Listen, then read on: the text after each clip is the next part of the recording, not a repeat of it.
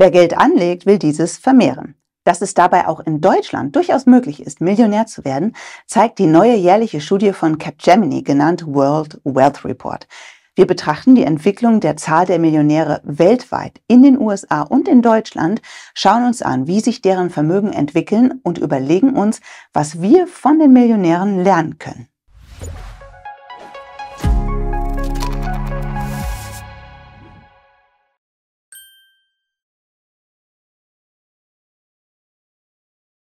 Bevor wir zu den Zahlen kommen, die Definition. Wer ist nach der Studie Millionär? Das sind die Menschen, die Bargeld, festverzinsliche Wertpapiere, Aktien, alternative Investments und nicht selbst genutzte Immobilien im Wert von mehr als einer Million Dollar haben. Was bei der Studie also keine Beachtung findet, sind Eigenheime, Gebrauchsgüter und Sammlungen. Tatsächlich sind also vermutlich nicht mehr Menschen wohlhabend.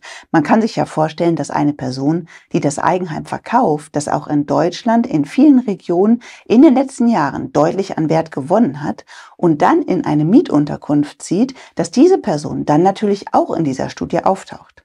Trotz dieses Aspekts ist die Studie unserer Meinung nach von der Machart her jedoch beachtlich, denn sie deckt den Angaben zufolge 71 Länder ab.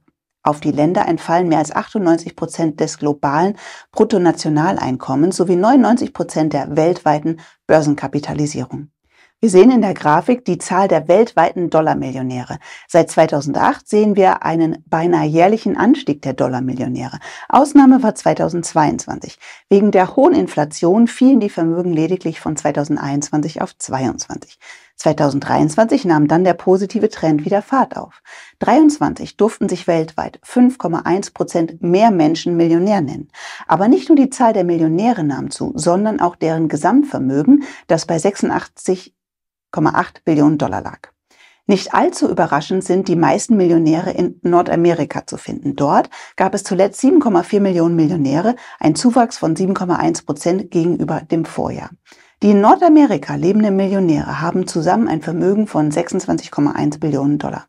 Auch in Deutschland stieg die Zahl der Millionäre und auch deren Vermögen. Wegen der schlechteren wirtschaftlichen Lage stieg die Zahl der Millionäre in Deutschland aber nur um 2,1 Prozent auf 1,6 Millionen Millionäre und deren Vermögen um 2,2 Prozent auf 6,3 Billionen Dollar. In den USA wurden also 2023 relativ betrachtet mehr Menschen Millionär und diese schafften es auch, Vermögen auf sich zu vereinigen. Das mag an der besseren wirtschaftlichen Lage liegen, aber auch daran, dass die Amerikaner eher die Aktienmärkte nutzen, um das eigene Vermögen zu vermehren. Was nehmen wir für uns aus dieser Studie mit?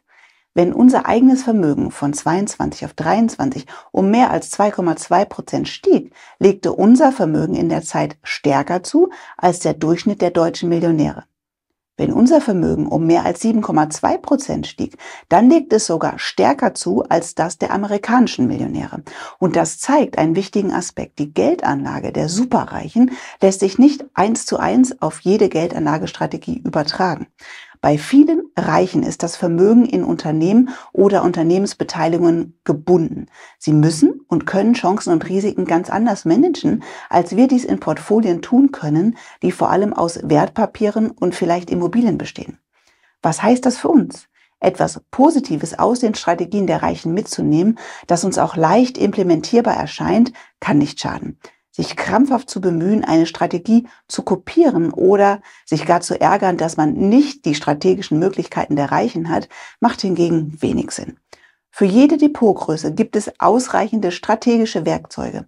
Wir haben mal einen exemplarischen Weg zur ersten Million in diesem Video skizziert. Alles Gute bei deiner Geldanlage, dein Optionsweltenteam.